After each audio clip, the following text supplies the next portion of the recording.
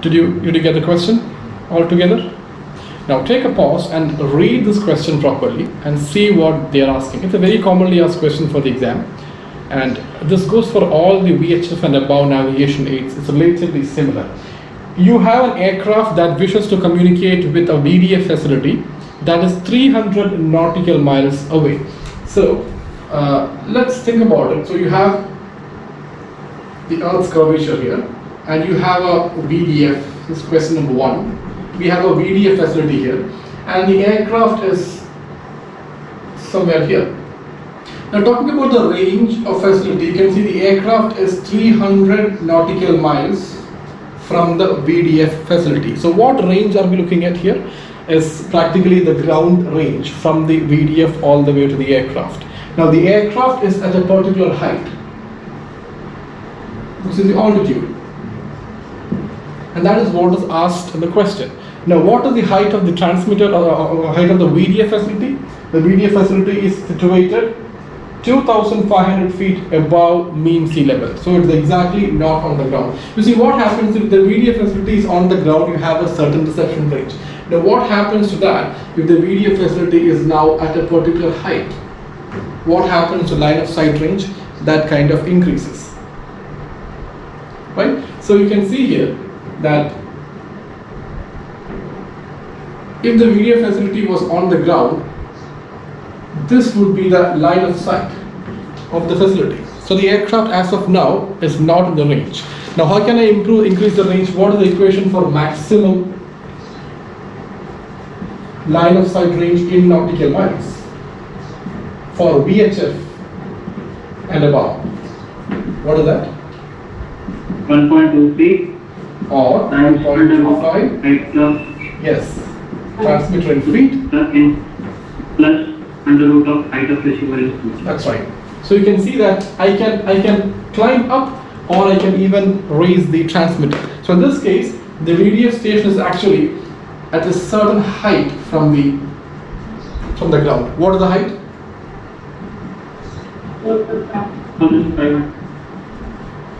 1,500 Above mean sea level. Now you see what happened to the line of sight immediately. The line of sight is now has increased so much. So now the aircraft is within the line of sight. So that is the whole advantage of actually raising the height of either transmitter or the receiver. So the question pertains to second case. We have the aircraft at a certain height and 300 nautical miles away from the um, from the station, and you are uh, and the transmitter. The VDF is basically uh, the transmitter. It's basically 2,500 feet above mean sea level. You're asked to find out what should be the minimum height of the aircraft uh, to avail reception at this particular uh, range is the question. But let's, I'll just rub this diagram off. I just showed you to, uh, to show you how the range can be increased by increasing height of the VDF antenna.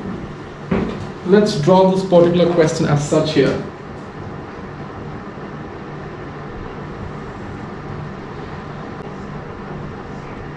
This is 2500 feet is where you have the VDF facility. And if I draw the line of sight for this one, so the answer as such for this question is not difficult, it's just the direct application on the formula. And What I'm trying to give you is an understanding of what is happening here. So this is the radio horizon, which is the maximum the line of sight. Now, where is the aircraft? The aircraft is at a range of 300 nautical miles.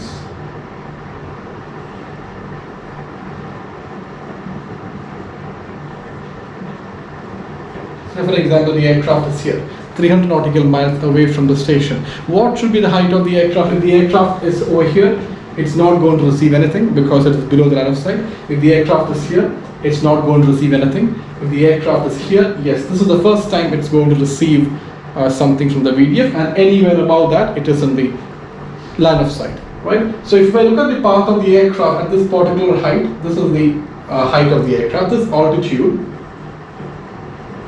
is basically the minimum altitude required over a range of 300 nautical miles from a VDF facility that is at a height of 2,500 feet above, above mean sea level. You're asked to find out that altitude. Remember, I've told you this before, it doesn't matter what the actual range of the aircraft is, this equation is going to yield you the maximum range, which is this particular range here. Right? The question they asked if an aircraft wants to communicate at a range of 300 nautical miles, what should be the height? 300 nautical miles, it should be at this height. How will you find out the height? That is 37,600 feet about. Now let's find out this maximum line of sight range in nautical miles for VHF and above transmission is 1.23 or 1.25 times square root of height of transmitter plus height of receiver both in feet. What is the maximum line of sight range? That is 300 100 nautical miles. and remember, you should always look at this range here. It should be nautical miles. If it is given in kilometers, you cannot apply it straight away. You have to convert to nautical miles. Right? Is equal to 1.23 times. What is height of transmitter? That is 2,500. You can take. You can take. In this case, uh, the VDF facility acts as a receiver. The aircraft acts like the transmitter because we press the PTT here. So we can take this as a transmitter and this as a receiver. Therefore, height of transmitter is what we want to find out. Plus, what is the height of receiver? 2500. You said transmit uh, is 2500. Second. Transmitter, the ground station is situated 2500. Yeah, so we can, in case of VDF, so the pilot initiates the transmission, right? For Yeah. one. So that is why you can you can consider the way also because he has to transmit it back anyway. So he will act like a transmitter now. So but initially the whole idea is the pilot transmits it. So I have taken here, it doesn't matter. Whichever you take it's gonna be the other other one is gonna be the variable. Right? So what is the how will you solve this? Yes, Apeksha? How will you solve this equation? Right? 1.23 root of transmitter plus what is the root of 2500? Easy. It's 50 here. Therefore, root of transmitter plus 50 is equal to 300 divided by 1.23. You can find this answer and subtract 50 from that. That is going to be root of transmitter. And then you can find the square of that. And that's going to give you the height of transmitter. How much is it? 37,000, uh, 598 feet or 37,600 feet. 37,600 feet. Let's look at the options here. These are the options. So which one will you will you pick up? Early, Charlie. That is the one that's closest. Do you get this answer, uh, Apeksha? 37,600? No, I got one nine. 190. Oh, you got this as the answer. square root, square root shift to IP. So you see, see how they have put the options? You'll end up getting one of these options if you go wrong. So be very careful. Where do you go wrong? You probably must have taken the root together or forgotten to take the root.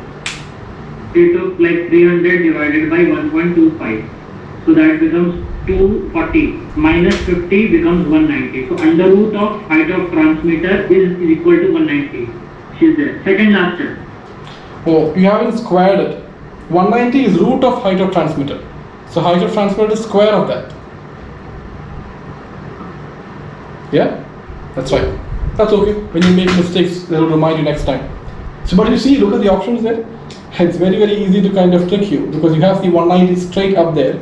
You'll be so happy to see this and then happiness is what tricks you. So be very careful before you mark the options. They can trick you. So what is the answer? 37,600 feet. Now, what if I use 1.25? Exit the discount 36,000. Yeah, so if I use 1.25, I will get exact same answer. So if you have any confusion, just try using 1.25 for the exam and you will get the same option. It doesn't matter, you will get relatively the same closer answer.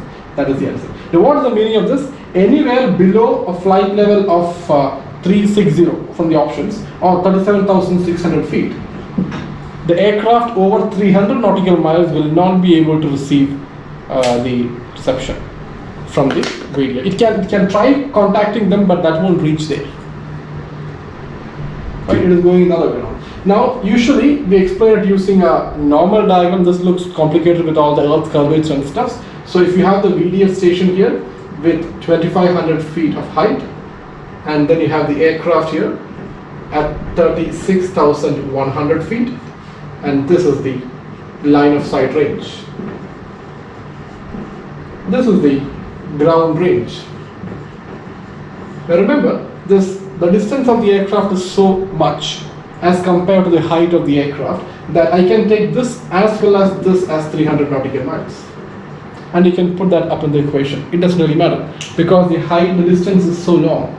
Right, so we have seen that in 160 as well, that when you have a larger distance and a smaller height, then these two sides can be taken as same. But when the aircraft travels closer and closer and reaches somewhere around here, now you see, now you cannot take these two sides as same because the angle has grown bigger. So it doesn't matter whether they have given ground range or slant range. This is called ground range or plan range. This is called slant range. It doesn't matter what they have given, it will still work.